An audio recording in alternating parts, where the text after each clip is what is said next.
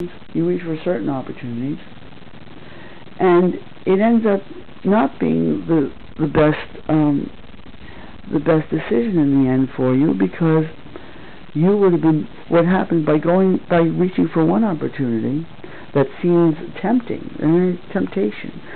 Uh, Christianity talks a lot about temptation, but doesn't go into it's more than just a matter of of sin sometimes it's not a question about God and commandment and sin.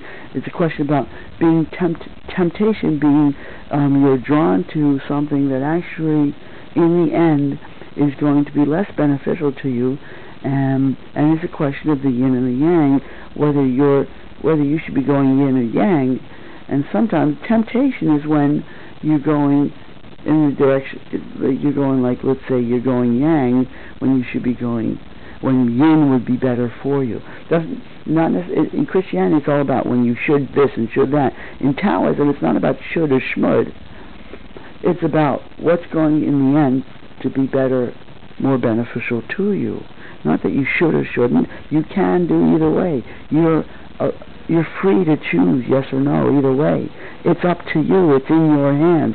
The decision is in your hands and within your power, and you're free either way to do it as you choose. But what you will find is not a matter of should or sh shouldn't or could, can, um, you know, must or mustn't. It's about what trying to learn what is going to be more beneficial to you yourself from your own point of view in the end. And sometimes you go temptations when you go pursuing something that looks attractive. For instance, on Thursday I went out because there was a free exercise machine listed, or so I thought. It said stretching machine. I said, aha, this looks like this could be what I need for exercising. I went out there. I wheeled my other buggy there because uh, my bicycle tire was flat.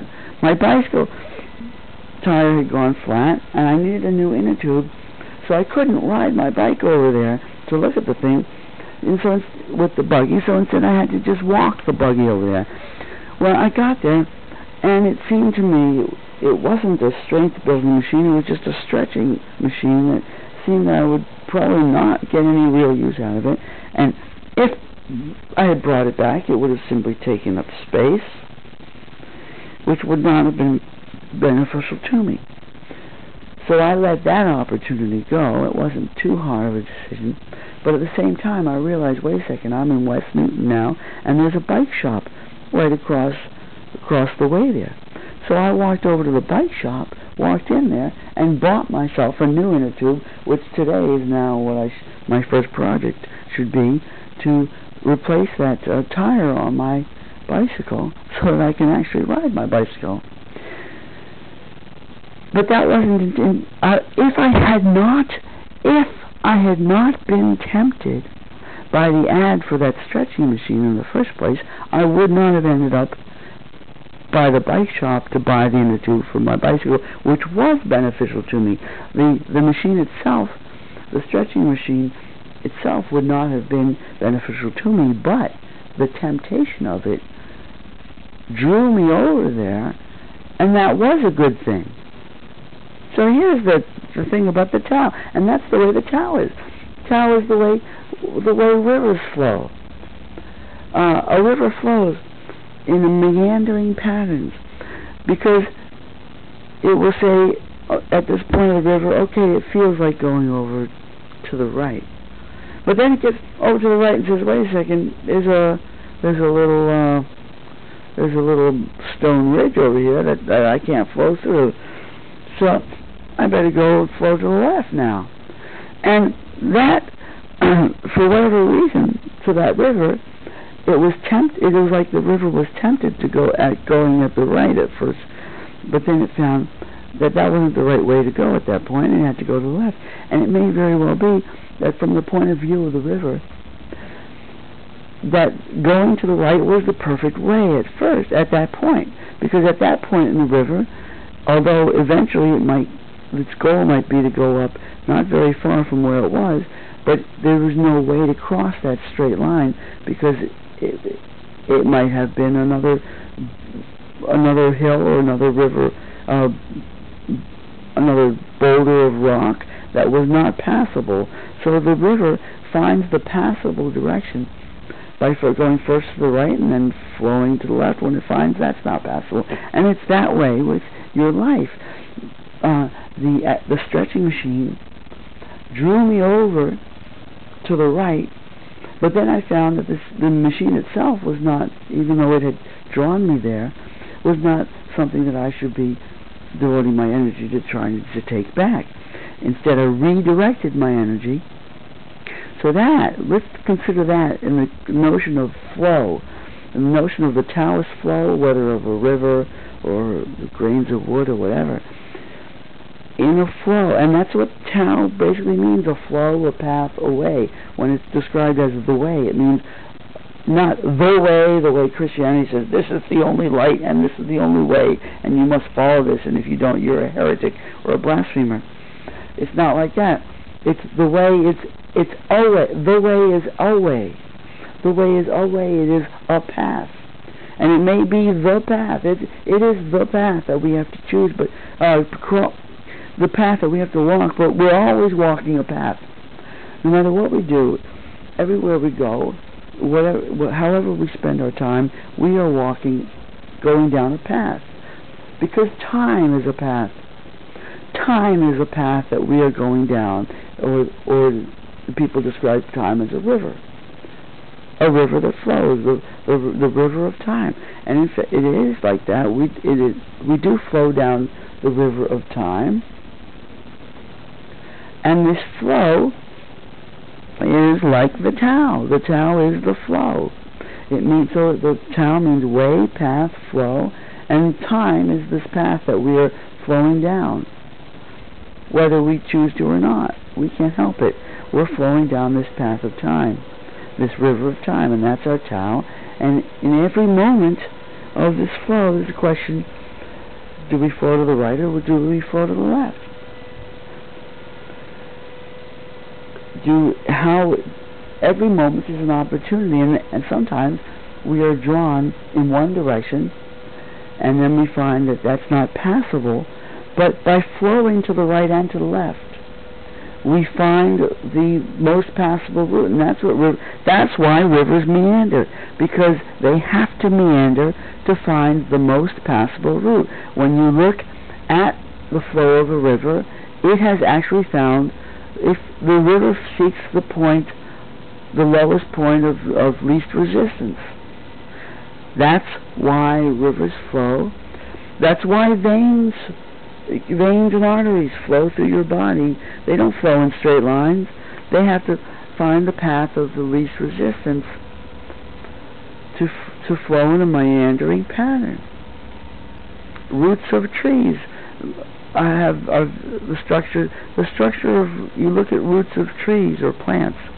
The roots of plants have a structure very similar to the structure of veins and arteries in the human body.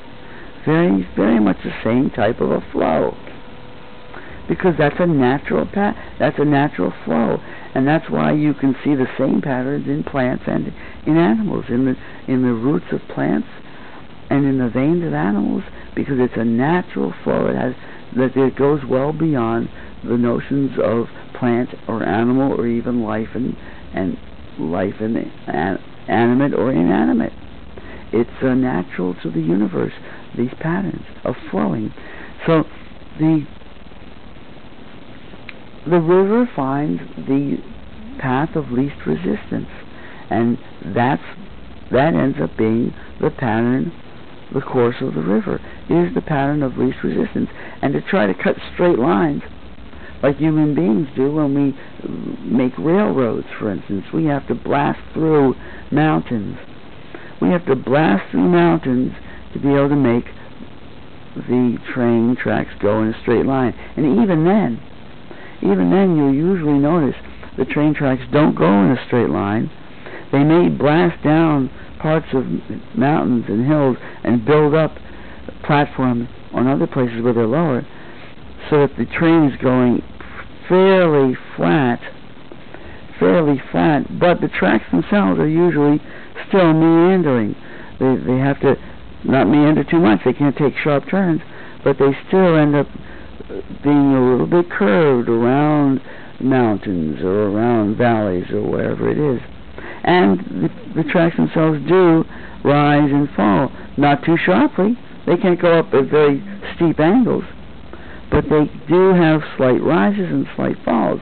So even train tracks cannot be perfectly straight and flat unless you have this perfectly flat surface like uh, you know on the sand flats but that's very rare to have those flat those perfectly level flat uh, surfaces in in a natural area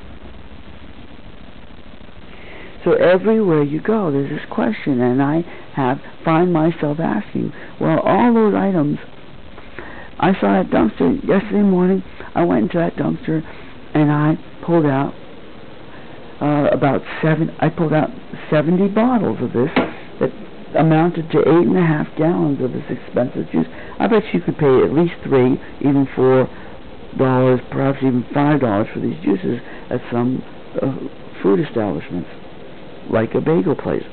You reach have a specialty case and four dollars. Okay, that'll be four. Ring it up, four dollars for the super juice, and people pay it routinely four dollars times that that's two hundred that's three or four hundred dollars worth of juices I pulled out eight and a half gallons of this stuff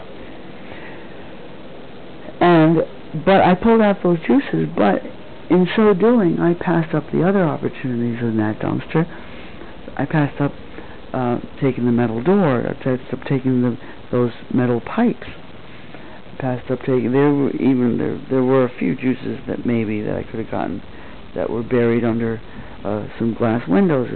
I don't think there were very many, but there, I could have maybe gotten a half dozen or even a dozen more juices if I dug out all the ones that were there. So I find myself looking back on this missed opportunity of the dumpster of what I didn't take, what I didn't seize in that moment, because my window of opportunity, my window of opportunity of getting those items out of that dumpster was uh, time sensitive. Let's call it that, time sensitive windows of opportunity, and that's how the practice of the Tao, that not not that it's a ritual, but it's a it's a a practice of thinking these things out and and of trying to learn from past experiences of what you did and didn't take and whether those things that you didn't take that you might have been better off taking and those things that you did take that you might have been better off leaving behind. Some things you take and they end up being more of a burden. And you realize, wait a second, you know what?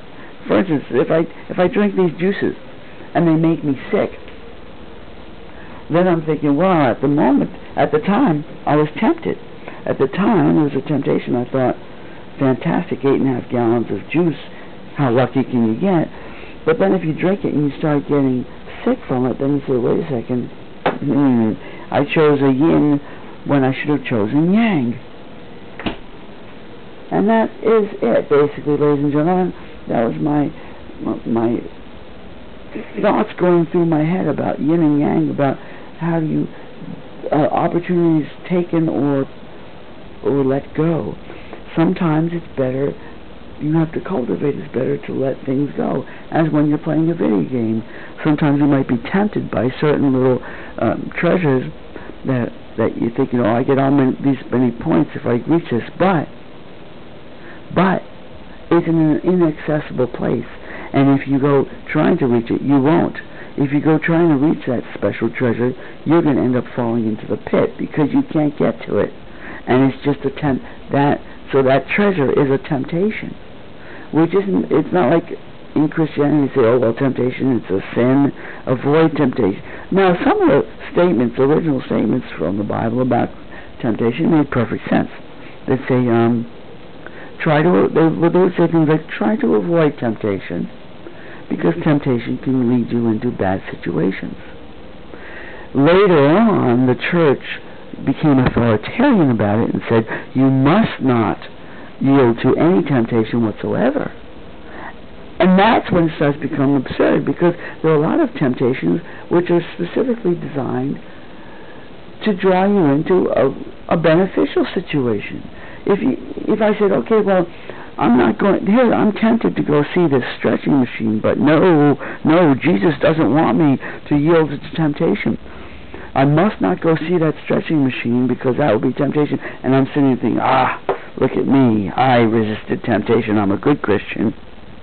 I didn't go out to look at that uh, that stretching machine because that would have been temptation.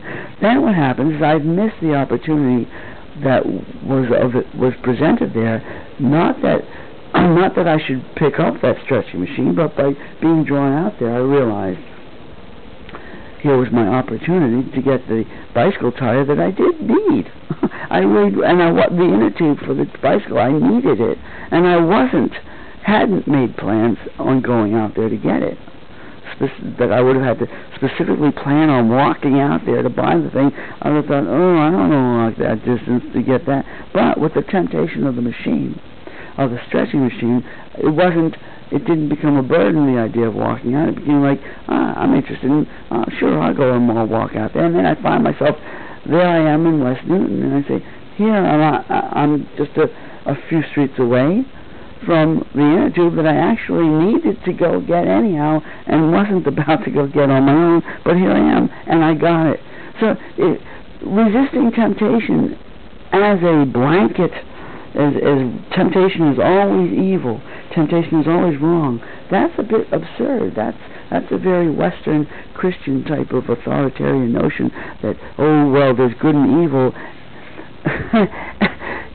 Ta- Taoism, yin and yang doesn't say well. You can say yin and yang are good and evil, but usually that's not how it's described.